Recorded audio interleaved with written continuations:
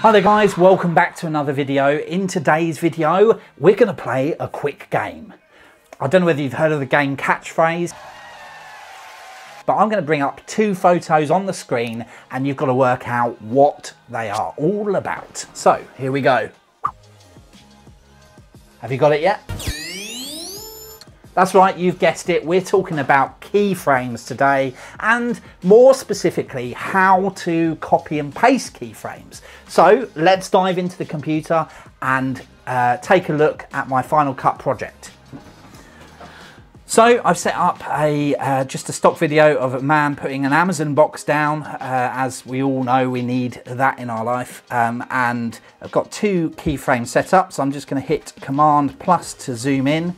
Uh, going to hit the A key um, and uh, this is just the starting block there.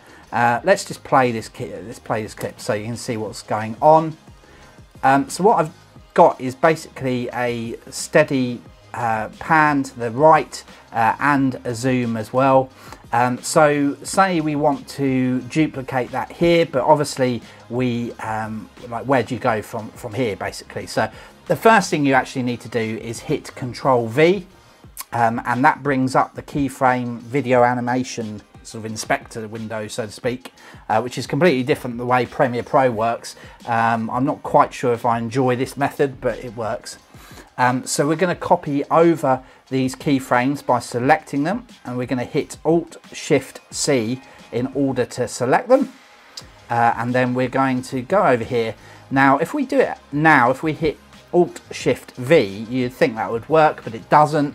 Um, what you need to do is hit the transform uh, uh, panel and as soon as that's highlighted it will um, make sure that you paste it into the right place. So we're now going to hit Alt Shift V and um, now we've got that there. If we go to this keyframe, select it and then select Alt Shift C, uh, we're going to copy that uh, and then we're going to hit that line, going to hit Alt Shift V. We're going to expand it out uh, and you can now see the movement going in there. Um, now it's a useful little feature actually. What you can do is swap over um, hit this drop down button um, and uh, sort of select position. So if you only wanted to work on keyframes uh, in the position panel, you could do that using this bit here. So if we set a position keyframe there, we can. And then if we change it to scale, it uh, you can see that it's disappeared slightly but there's a little black dot there which indicates uh, that on another parameter you've got a keyframe. Um, so yeah you can basically swap around uh, to whatever you want. Um, and you can use these arrows to take you back to the last keyframe um, which is obviously what you, you need to do. Uh, so again if we wanted to copy this parameter uh, and we hit alt shift uh, and C um, and say we were in the scale it would allow you to do it, but it would do it completely wrong. So Alt Shift V uh, allows you to do it, and you can see it's completely messed up the, the video. So basically when you're pasting, just make sure that you are on the right parameter because otherwise you'll be completely messed up and you won't know what's going on. So uh, again, so we're on position again. So we hit Alt Shift V. Oh, it didn't do it because I've not selected it. Alt Shift V and it's done it there. So that's been a quick tip on how to copy and paste keyframes in Final Cut Pro.